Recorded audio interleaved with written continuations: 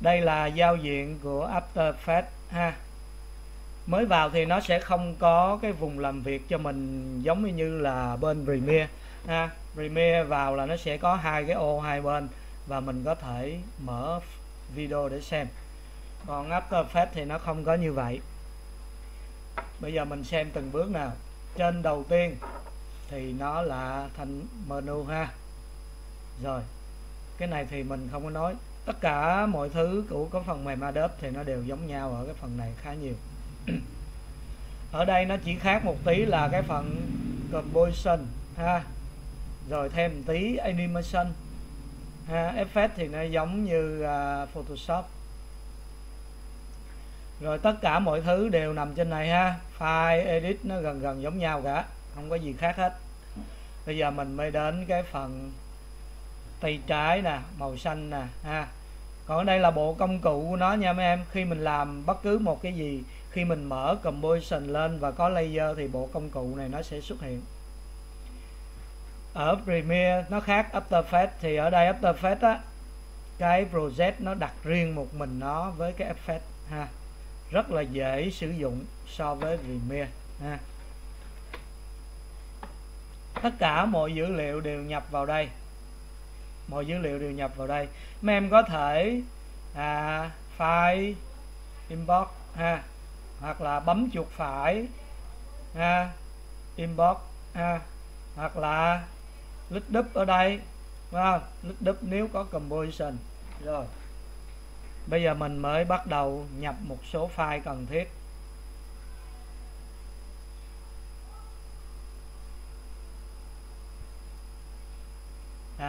Coi à, phần nhập file của mình giống như Premiere.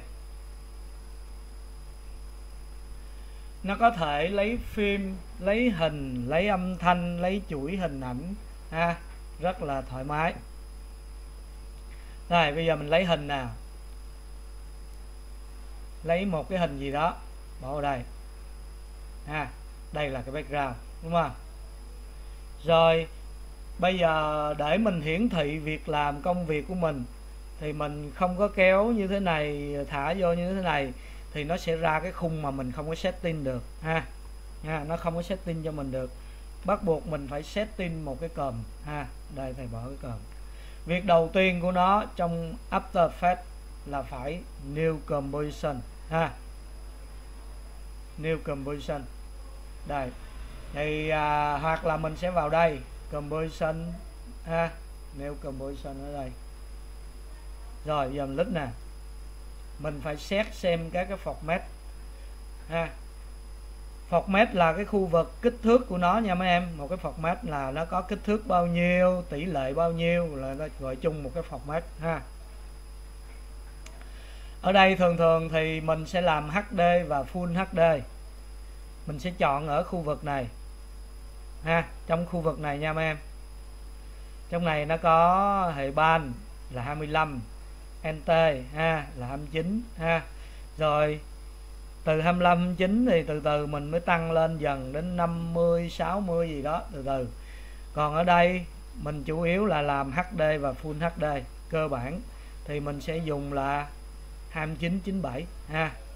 Mình không làm stop motion nữa ha cái stop motion là mình đã làm trên Premiere rồi set trên Premiere rồi.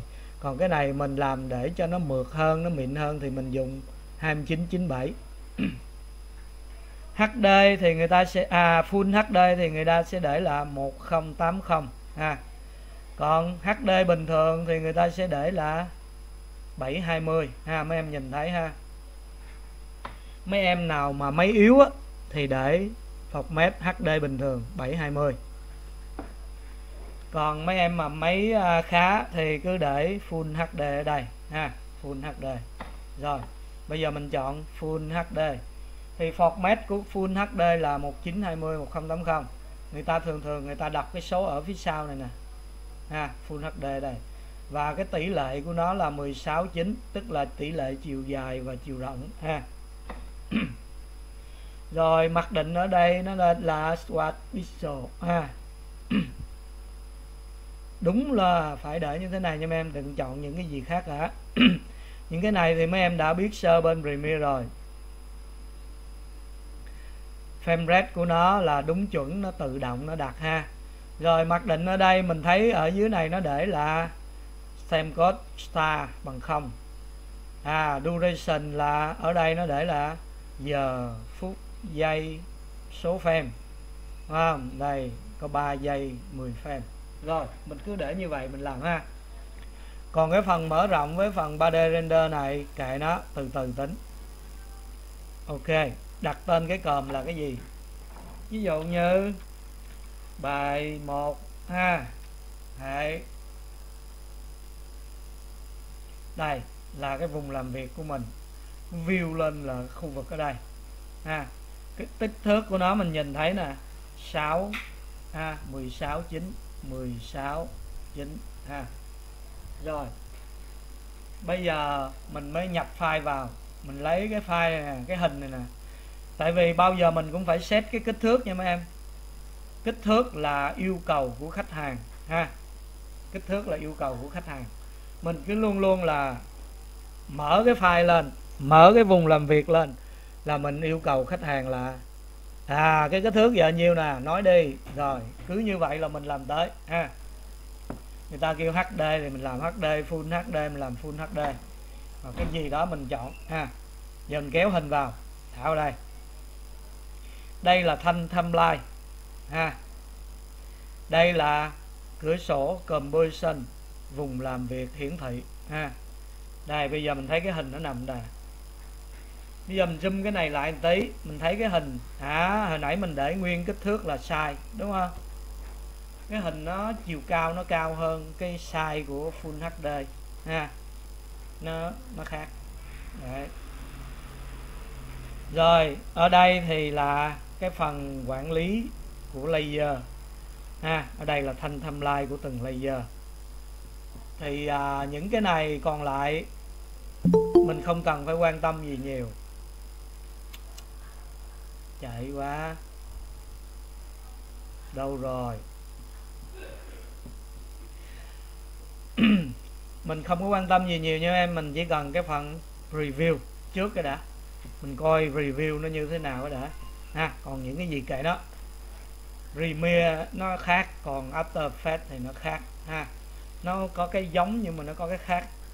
Rồi, bây giờ mình nhìn thấy một vài cái setting cơ bản trên cái vùng làm việc khi mình làm việc mình sẽ thấy à, mấy cái này kệ nó nha mấy em đừng có nhìn nó chi cho nó mệt từ từ. Nhìn ở đây. Mấy em nhìn ở đây mấy em sẽ thấy là có chữ fit. Fit có nghĩa là nó view full cái hình ha. Full hình ở trên cái khung view của mình. Fit nè. Đấy có nghĩa là mình thu nhỏ nó nhỏ theo thu lớn lớn theo ha.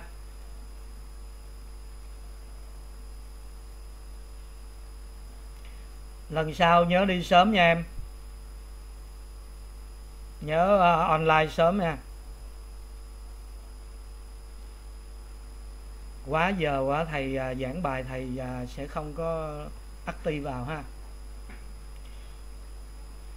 Rồi. Mấy em uh, thấy khi mình để fit là nó sẽ như thế này nó sẽ tiện cho mình khi mình diễn cái vùng làm việc. Ha còn nếu không á thì mình để nó thu bao nhiêu phần trăm cũng được là nó cố định luôn ha. Đây nó cố định ha. Đấy thường thường thì người ta hay để fit. Máy mình mạnh thì cứ để fit cho nó đi theo cho nó dễ. Rồi tiếp theo nó có một số cái sáp safety. Cái khung lưới để nói lên cái gì. Đây. Cái này nó giống như trong cái phần mình coi à, uh, storyboard đó ha. Đây cái đầu tiên là chữ và những cái chuyển động của vùng an toàn của chữ và vùng an toàn của chuyển động, hành động. Đây, nó giống như cái soi bo mấy em lần trước đã thấy cái khung bên trong và khung bên ngoài. Những cái này chỉ hiển thị ở mức độ khi mình à, đa số là mình làm quảng cáo truyền hình là chính. Còn bây giờ người ta tiết kiệm, người ta có thể chạy chữ dưới này ha cái hình nó có thể diễn ra tuốt bên ngoài này. Đối với những video mà chiếu trực tiếp trên mạng ha như youtube hoặc là à, trình chiếu trên các chương trình đó, thì nó không hầu như nó không có mất cái gì cả ha. Thì mấy em coi thoải mái. Thì mấy em không cần quan tâm tới này lắm. Còn nếu mấy em làm cho uh, truyền hình thì mấy em phải chú ý cái thanh bên trong cái thanh cái khung bên trong này nè là dành cho chữ ha. Nếu mà ra ngoài thì nó sẽ bị đè nén hoặc là bị mất hoặc là nó xấu ha. Cái khung này là dành cho video. Những cái hình nào mà nằm bên ngoài này là có thể nó sẽ mất ha. Đấy hoặc là nó sẽ bị cắt. Đấy. Thường thì à, cũng ít quan tâm tới cái này ha. Còn khi làm mình sẽ có thể dùng rig lưới giống như Photoshop AI ha. Có thể mình dùng lưới để mình kéo gai, ha. Đây, nếu mình muốn đồ họa, đồ gì đó. Còn không, bình thường là mình sẽ tắt, không quan tâm lắm, ha. Rồi, tiếp theo nó có một cái phần mát thì cái này khi mấy em làm mát thì nó mới thấy. Cái duration, ha, là tức là khi em kéo nó đến đâu thì bắt đầu nó sẽ di chuyển đến frame số bao nhiêu, ha đến frame số bao nhiêu thì thông số đây nó sẽ nói. Rồi cái này snapshot không quan tâm. Khi nào mình chụp cái hình ờ, cần gì đó thì mình chụp ai cũng biết rồi ha. Cái quan trọng là ở đây nè full. Máy yếu thì mấy em nên để auto ha. Máy yếu mấy em để auto để cho tự động nó sẽ giảm cái chất lượng xuống. Rồi à, mấy em sẽ làm thoải mái hơn ha. Khi máy nó nặng nó tự động nó chạy xuống ha nhưng mà cực một cái là khi mình render mình phải đưa về full. Đấy. rồi, những cái này chưa học tới, kệ nó, ha. Mình không quan tâm, mình làm một vài cái cần thiết thôi. Tại vì bây giờ thầy hướng dẫn mấy em không sử dụng thì cũng như không, đúng không? Không có quan tâm gì mấy cái này liền. Mình làm tới đâu thì mình biết tới đó. Rồi mình quay trở lại cái phần project. Mình nhập tiếp file vào, ha ở đây nó có nó cũng có uh, new folder giống như new bin ở bên Premiere. Ha, nếu mình để một loạt file nhiều thì mình tạo new folder ở đây ha. Còn ở đây nó có thể tạo composition trực tiếp bằng cái icon. Ở bên này nó có từng cái icon cho mấy em nhìn ha. Cái icon combo là nó có hình tròn hình vuông hình tam giác và ba cái màu. Đây. Đó là composition composition nó giống như một cái sequence ha. Thì nó là như thế này. Nó sẽ gồm rất là nhiều layer, ha. Nó là một cái composition nó gồm nhiều layer, giống như Photoshop á. Cái nào ở trên nằm ở trên nào ở dưới thì nó bị đè chồng, ha. Giờ thầy lấy vài tấm hình, vài cái gì đó. Thầy lấy cái này, bỏ vào một cái. Rồi, thầy lấy thêm cái hình bỏ vào. Thầy lấy tiếp à, mình cứ lít đúp nha mấy em. Lít đúp vào đây là mình lấy cho nó nhanh. Còn không mình mở ở ngoài ha. Rồi đến phần mình lấy file Photoshop với AI thí dụ như thầy lấy file Photoshop. Đây nó sẽ lên một cái bảng nó hỏi giống y như bên Premiere nó hay hỏi ha. Nhưng mà ở đây nó hỏi là composition. Mình chọn chế độ gì ha thì ở đây hai cái composition có nghĩa là nó tách ra từng layer cho mình. Ha, còn cái footage nó là thành một tấm hình. Bây giờ mình coi từng bước để mình hiểu nó. Cái footage nha, có nghĩa là nó sẽ mở toàn bộ layer lại thành một cái hình, ha. Đây. Kéo xuống. Đây là cái hình, đúng không? Nó là một layer, nó không có cái gì trong này hết, ha. Rồi, bây giờ mình tiếp, mình cũng lấy con gấu ha. Mình import nó vào, thì nó sẽ báo nữa. Lúc này mình để composition. Ha. Nó có, nó lại hỏi là có mật hay không? Mình không mật thì mình chọn ở trên. Ha. Đây, nó lên một cái còm mới. Nó lên một cái còm mới và một cái folder chứa dữ liệu của cái còm gồm rất là nhiều layer. Ha. Có nghĩa là cái con gấu này nó có nhiều layer. Nếu mình để footage là nó sẽ là một file ha. Còn khi mình để uh, composition thì nó ra một cái còm cho riêng mình. Bây giờ mấy em lít đúp vào cái còm. Thấy hàng loạt cái layer ở đây ha. Mấy em thấy ha hàng loạt cái layer. Đây có nghĩa là ở trên này lít vào đây là cái đầu cái tay ha. Cái này là cái gì? À, từng bước mình kéo ra coi nào. À chân cái tay đó cứ kéo ra. Đấy lỗ tai. À tiếp tục mình cứ kéo ra. À, còn rất là nhiều laser trên này cứ mỗi lần là một cái laser ở đây. Ha. Đây. Đây. Đây ha. Cứ hết đó cái này là một laser. Như vậy là khi mình chọn chế độ composition thì mình sẽ lấy được composition đây. Ha. Giờ bỏ nha. Rồi bây giờ mình lấy lại một cái composition nữa. Vẫn là bia. À, gấu. Ở đây nó có hai chế độ composition một chế độ là retain layer. Thì nó cái layer của mình nó bao nhiêu thì nó lấy bấy nhiêu chứ nó không có lấy dư vào nguyên cái khung. Ha.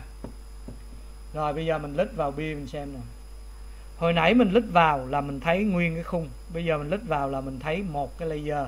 Đài cái tay. Ha đâu?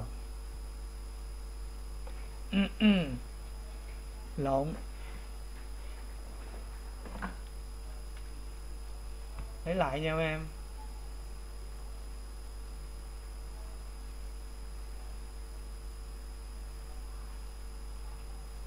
Phải chọn cái retain layer nha em rồi. Card màn hình báo card màn hình. Đây lúc này mấy em thấy từng cái laser là mỗi một cái nó nằm đúng cái khối hình ha. Mấy em thấy cái đầu nè nằm đúng cái khối hình ha. Mắt nè. Đấy, nó cũng nằm đúng cái khối hình ha. Cái lỗ tai nè bên trong nè cái tai ngoài nè thấy chưa? Là nó nằm đúng cái vùng laser. Còn cái laser lúc nãy là nó lấy nguyên cái khung này ha đây, như vậy là mình phải biết cách là mình lấy cái gì, cần cái gì và mình chọn cái gì, ha. Rồi, tiếp tục, mình có thể lấy file AI ha. Đây, ví dụ như thầy lấy cái file AI này. Cái này là gì đây?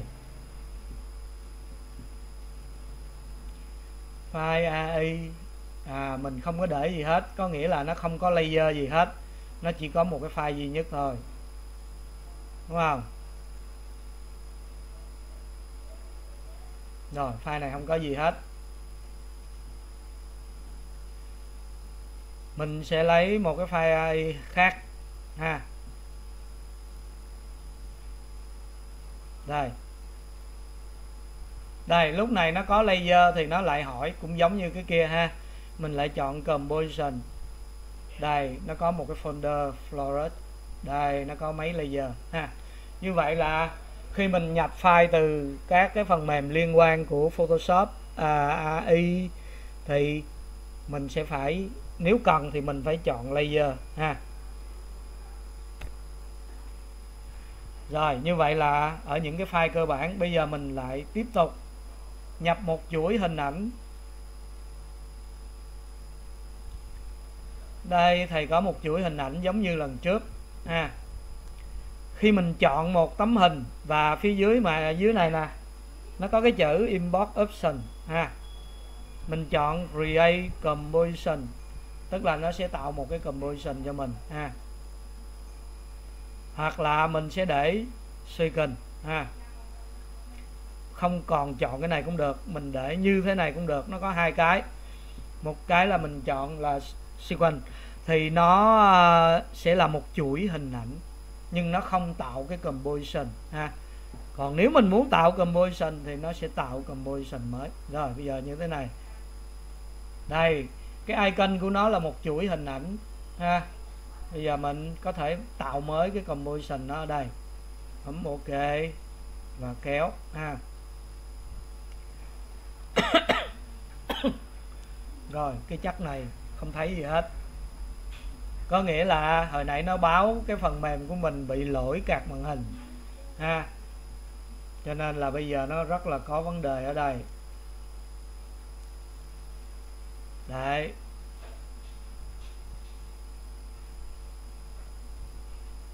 À nãy mình à quên, mình kéo lộn ha. Kéo cái còm lộn.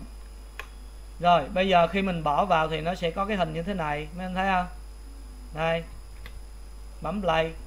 Đấy.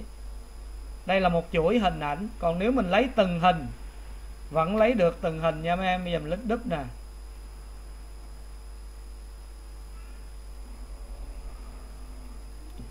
Mình chọn một cái hình. Mình muốn lấy một cái hình này thôi. Thì mình tắt cái inbox second này đi ha.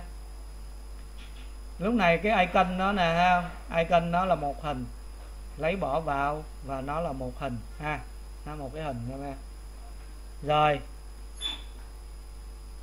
Bây giờ mình lấy file âm thanh ha.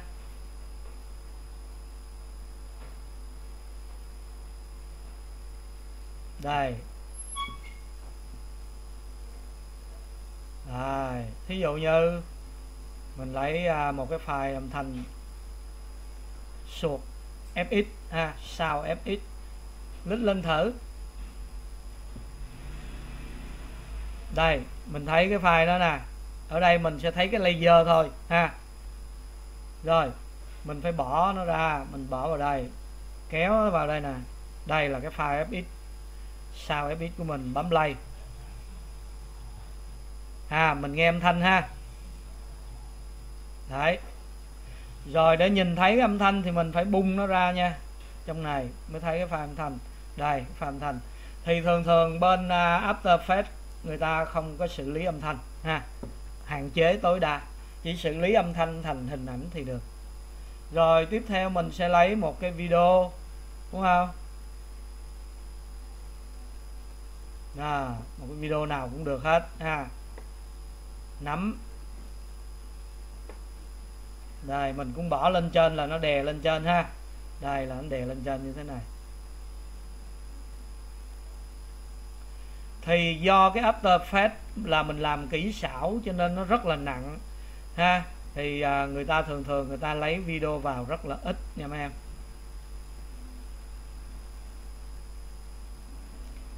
Chủ yếu là người ta lấy một chuỗi hình ảnh second ha. Rất là ít khi lấy video trừ trường hợp người ta đưa sụt video. Và thường khi đưa video thì người ta đưa khoảng chừng 1 đến 5 phút là nhiều nhất không có đưa quá. 5 phút ha. Thường người ta đưa rất ngắn còn nếu đưa quá người ta sẽ đưa qua remia người ta cắt và ngắn lại còn một là một phút trở lại. Tại thường xử lý kỹ xảo hoặc là làm cái gì đó thì người ta làm trong vòng trên dưới một phút ha rất là ít. Rồi như vậy là mình thấy à, video hình ảnh âm thanh gì bất cứ cái thứ gì chuỗi hình ảnh là mình có thể nhập được từ à, vào After Effects ha rồi bây giờ mình quay trở lại là bỏ hết thì mình vào New Project ha. Đây nó trở lại mới cho mình. Còn giao diện mà mình lỡ có bị gì đó ha thì mình vào Windows Workspace và Reset ha. Reset nó. Đấy nó sẽ trở về mặc định cho mình. Thường thường khi mấy em thấy à, thư viện mấy em delete đi ha đóng nó đi mình không có sử dụng thư viện đây, còn cái review đây, mình kéo nó xuống ha. Này, nó sẽ nằm ở đây. Rồi, khi mình có còm thì nó sẽ review đây. Như vậy là mình nên biết cơ bản một tí về giao diện thôi, ha. Không có cái gì mà ghê gớm cả. Này mình chỉ cần biết lấy vào và sử dụng trước cái đã. Rồi, bây giờ đến à, phần kế tiếp nè mình đã biết nhập file, ha? Bây giờ một số cái thao tác về layer để mấy em biết sử dụng. Đầu tiên, tạo một cái composition. Và ở đây, nếu máy yếu thì mấy em để HD ha? 1 280 720 rồi. Và nếu cần thì mấy em để fit, ha? Rồi ở đây nên để auto. Để nếu máy mạnh lệnh tự động nó full lên cho mình rồi việc đầu tiên là mình sẽ lấy vào hình ảnh. Ha, à, mình có thể để à, icon như thế này hoặc là như thế nào đó tùy mình. Rồi ở đây thầy lấy một cái hình. À,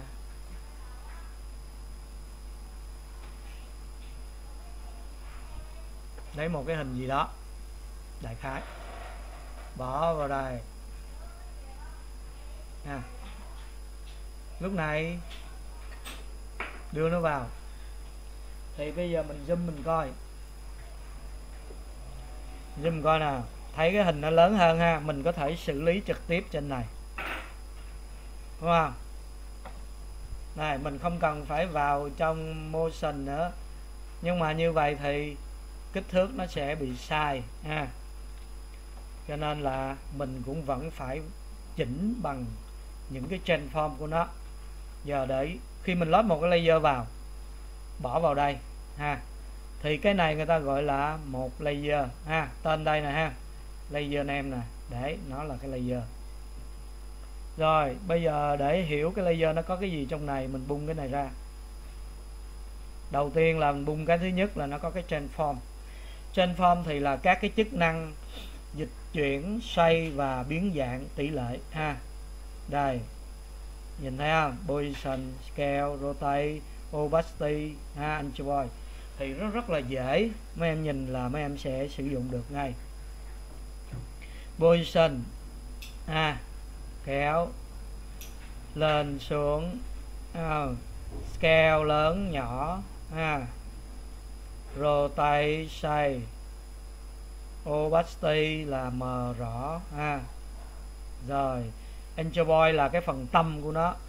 Nhưng cái tâm nó không di chuyển, cái hình nó sẽ di chuyển. Nhưng mà mình thấy là cái tâm nó sẽ đặt ở đầu ha à, đây, mấy em thấy cái tâm không? Cái tâm nó tuột dưới này nè, và mình xoay. Ha rồi. Rồi, trong quá trình mình làm, mình không thích nữa thì mình reset, nó trở về mặc định cho mình. Bây giờ mình muốn cái hình này nó gần vừa với cái này thì mình dùng scale. Scale đây đúng không? Đấy. Rồi. Mình có thể đánh 80 cũng được đúng không? Đây. Đúng cái hình nó nằm trong này. Nghĩa là mình đã biết xử lý ha cành. Thì mình đã làm à, uh, Premiere rồi thì qua After Effects rất là nhanh. Nhìn thấy nó có cái giống nhau là cái gì? Đây nè cái đồng hồ à, bấm dây nè ha. Đồng hồ bấm dây. Bấm vào là nó có cái kỳ à bây giờ coi kỳ nằm ở đâu. Mình sẽ tập tập đặt kỳ cho từng layer. Mình cứ nghĩ đây là video hay là hình ảnh hay là chuỗi hình ảnh đều là layer cả, ha, đều có các cái chức năng giống như vậy, trừ file audio thôi, ha. Rồi, bây giờ mình lấy giống như lần trước ha, mình lấy một cái logo, mình đưa nó vào. Không? Rồi lấy cái logo game nè. Thả cái logo này lên đây. Đây, nếu mình để ở dưới thì nó bị che bởi cái hình này, ha. Bây giờ mình phải đưa nó lên trên, đúng không? Nó nằm lên trên. Đấy, rõ ràng chưa? Bây giờ là mình đóng cái này lại giờ mình có được hai cái nè. Yeah. rồi mình muốn cái gì nữa mình cứ việc đưa lên. Thì thầy muốn cái logo này nó nằm ở đây hoặc là nó nằm một góc. Thì mình bung cái này ra và mình chọn scale đúng không? À, sau đó mình dời vào đây. Sau đó mình dời xuống đây. À mình có được một cái logo với một cái hình à. Rồi bây giờ mỗi lần như vậy á, mình phải bung nó ra như thế này nè. Rồi nó có chừng 50 cái layer ha 50 cái layer cái là nó dài. Thì thường thường là người ta dựng phim là người ta bao giờ cũng có hai cái màn hình nha mấy em ha. Phần trước thầy có nói rồi dựng phim là bao giờ cũng có hai màn hình một màn hình để xử lý một cái màn hình để nhìn xem ha. Thì ở đây mình đóng cái này lại đi. Mình sẽ dùng phím tắt ha. Lúc này mình sẽ dùng phím tắt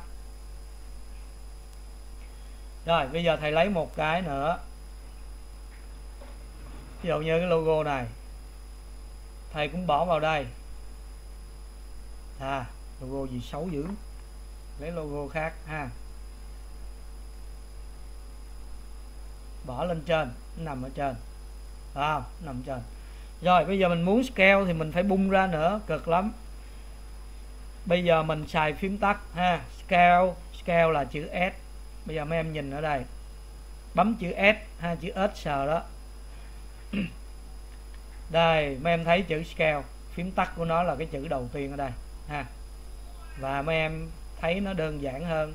Đó. Đúng không? Rồi mấy em muốn uh, di chuyển thì mấy em bấm position. Ha position thì bấm chữ B phở.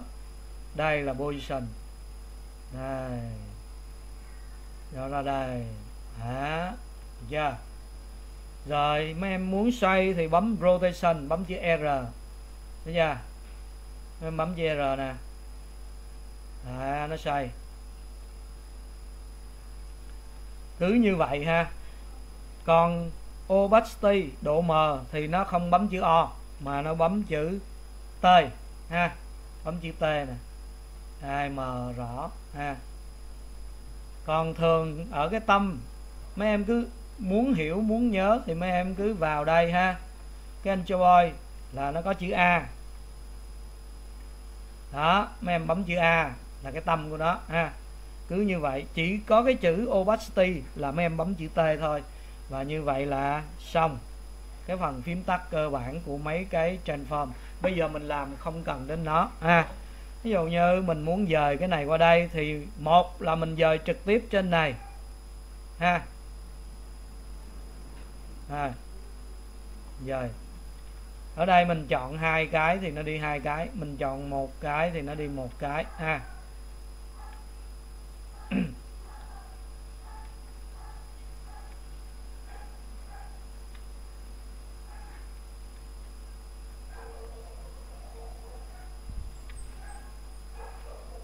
đây rồi này xuống đời.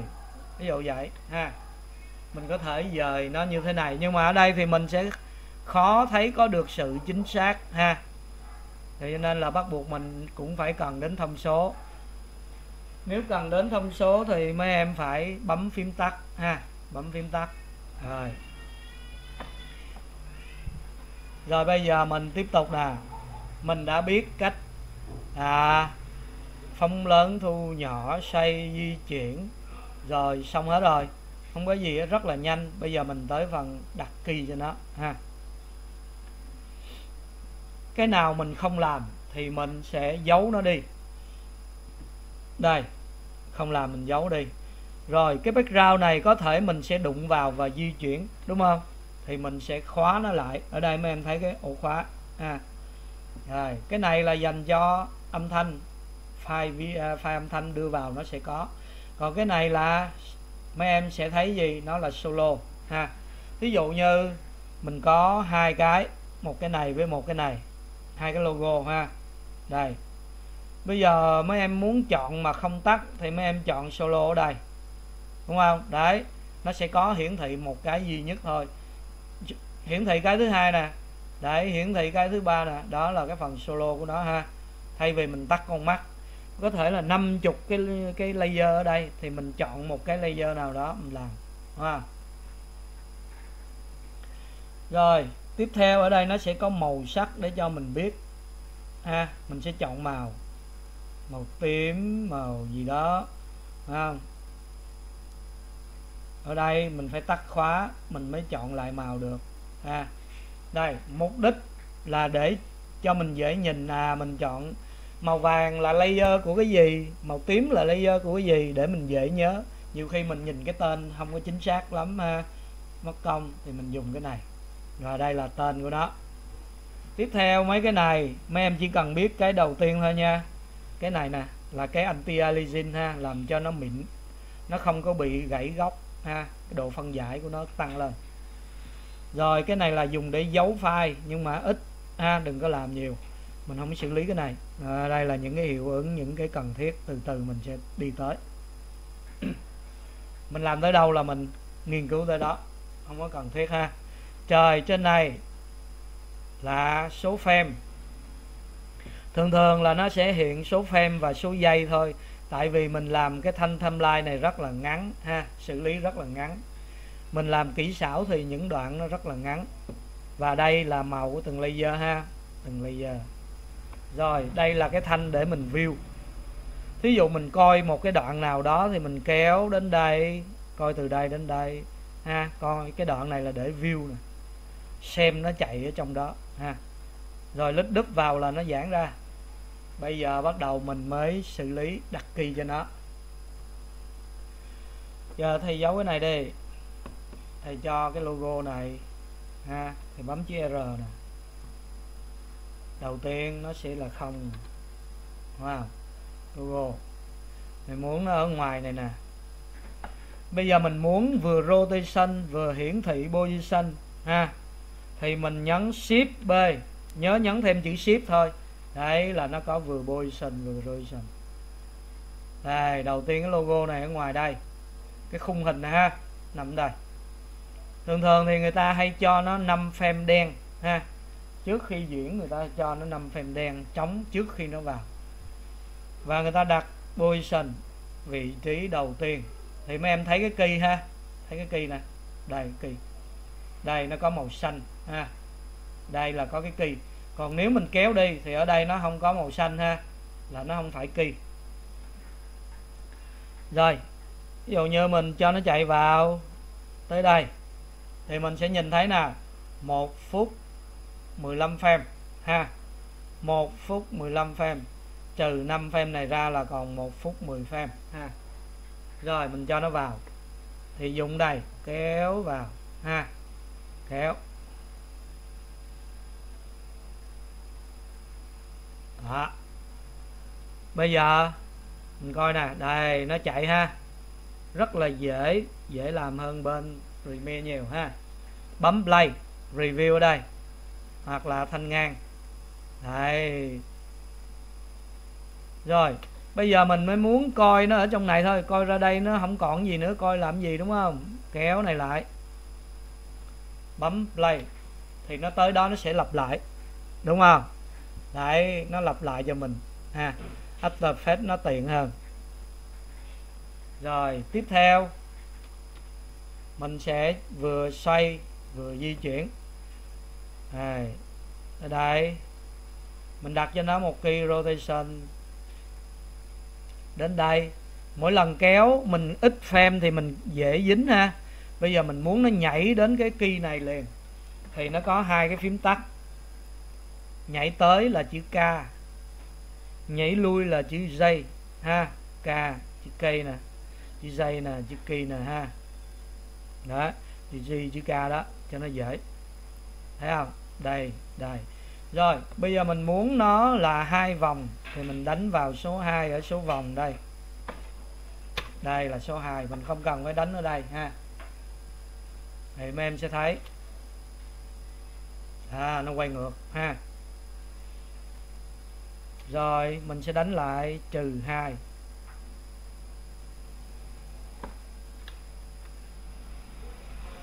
này, giờ nó phải quay xuôi lại đó, đó.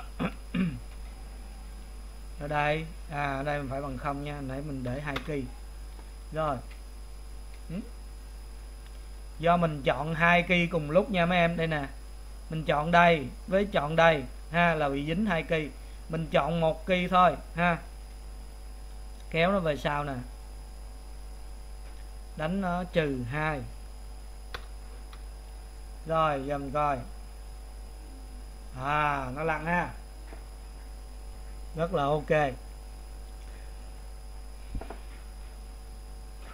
Rồi, tiếp theo, mình à, muốn nó phóng lớn lên ngay giữa và nó biến mất ha, nó thu nhỏ lại, nó biến mất. Thì mình lại tiếp tục tới đây. Thì thường thường một cái hành động, bao giờ nó cũng có 5 10 frame để nó nghỉ ha, nó dừng. Thì mình sẽ copy key ở đây. Ctrl C Ctrl V. Nó ra đây ha chỗ này là nó đứng im. Rồi tiếp theo mình sẽ cho nó phóng lớn lên. Bùm, ha phóng lớn lên và nó di chuyển. Thì trước khi nó phóng lớn thì nó phải để vị trí scale mặc định. Ở đây mình nhấn thêm chữ shift s là có cái scale. Mình đặt một cái nữa scale đây ha. Rồi tới đây nó phóng lớn lên hum ha. Dầm cho nó lớn nè. Rồi, dời nó vào nè. Dời nó lên nè.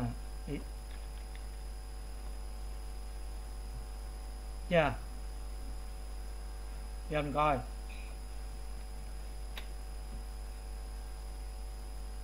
À ok ha. Rồi đấy. Bây giờ mình cho nó thu nhỏ lại và nó biến mất, ha. Nó thu là veo. Thì thường nó đứng ở đây, mình cũng phải cho nó dừng 5 frame 10 frame gì đó. Ví dụ mình cho nó ít hơn, mình cho 5 frame thì mình lại copy ở đây Ctrl C Ctrl V. Và ở đây nó biến mất vèo cái là mất, ha. Chọn chế độ scale bằng không. Wow nó biến mất giờ mình coi. Thấy chưa? Rồi, mình đã có key, có vị trí, có đầy đủ hết rồi. Giờ mình mới chỉnh thêm một tí. À lúc đầu nó lăn vào chậm chậm chậm, ha. Này, hơi nhanh nè, phải chậm hơn nữa. Thì mình phải dời key toàn bộ cái này ra ha. Đấy mấy frame nữa. Rồi ở cái phần cuối mình muốn nó biến mất nhanh hơn nữa. Đúng không? Thì mình chọn key một mình nó đó, cho nó nhanh lên. Đây. Vèo ra. Vèo ra. Bây giờ mình muốn cho nó đi chậm hơn nữa. Mình kéo nó ra tí nữa. Ha bây giờ à, là đúng theo ý của mình. Bùm. Thấy chưa? Rồi, mình muốn nó phóng lớn, nhanh hơn một tí nữa. Đấy. Coi tiếp. À bây giờ nó nhanh, ha. Còn cái độ lăn là ổn rồi. Mình muốn lăn chậm nữa thì chậm. Ha, như vậy là ổn rồi đó mình có được một cái hoạt động theo ý của mình. Lăn vào phóng lớn và biến mất. Thấy chưa? Như vậy là cách đặt kỳ không có khác gì bên à, Premiere ha. Nhưng mà nó làm dễ hơn tiện hơn. Rồi thí dụ như mình đóng nó lại và mình muốn chỉnh sửa một cái key nào đó ha. Thí dụ như lúc đầu này nó mờ mờ hay gì đó nó từ từ nó rõ dần sau đó nó phóng lớn và nó biến mất, ha. Thì mình muốn chọn lại key thay vì mình phải bấm từng cái như thế này mình mới thấy key đúng không? Mình bấm vào đây mình bung ra mới thấy key thì mình sẽ có một cái phím tắt nữa, đó là chữ U, ha. Chữ U. Đây, bấm chữ U là nó sẽ lên kỳ như thế này, ha. Là mình sẽ nhìn thấy kỳ ví dụ như chỗ này. À mình muốn nó dài cái này ra lại thì mình lại tiếp tục chậm lên tí nữa không? Đó chạy từ từ. Veo bùm mất ha. Rồi, như vậy là mình biết sơ giao diện của After Effects. Cách đặt key, ha. Đặt key là cứ như vậy thôi. Giờ, bước thứ hai là mình chỉnh sửa tốc độ cho nó ha, mình sẽ chỉnh sửa tốc độ cho nó. Ở đây mình không nói nữa, bây giờ mình tạo một cái còm mới và để coi cái tốc độ nó dễ hơn.